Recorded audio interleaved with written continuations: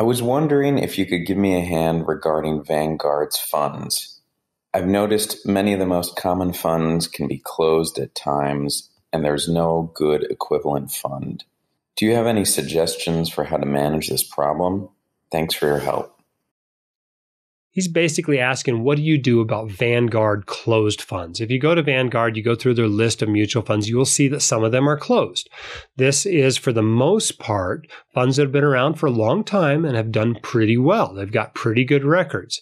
And so, what has happened there is the mutual fund managers have gone, this fund's just getting too big. We cannot deploy these funds into our best ideas any quicker than we already are. So we're not taking new money.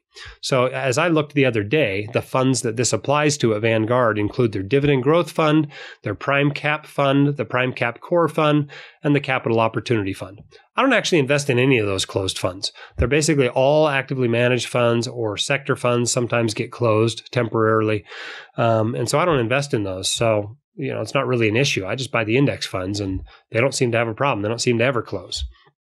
So that's option number one that you have. You can just use index funds. Option number two is you can watch for future openings after the fund starts performing badly, people start pulling their money out, and all of a sudden you can put more money in there. Or after a market drop, a lot of times they will take new money as well. So if you have a bear market, you might check again and see if those funds are open if you really want to invest in them. You might also find an exception in a 401k. Sometimes a different type of account still has access to that fund. Maybe it's a 529, maybe it's your 401k at work, maybe it's an individual 401k. Uh, you know, if you already have some funds in there, you can probably reinvest your dividends, or maybe you can can still invest more money. It just depends on the rules of the closure. But if you really want to get into a fund, it might be worth looking into that.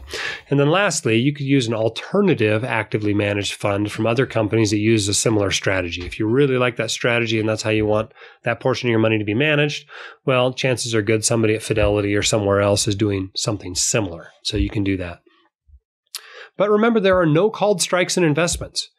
Uh, you know, there are no magic investments. There are no must have investments. Avoid the fear of missing out.